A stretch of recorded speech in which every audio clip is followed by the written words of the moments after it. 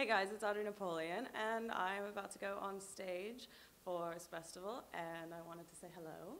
And I love you all very much, and we will see you after the show. Bye.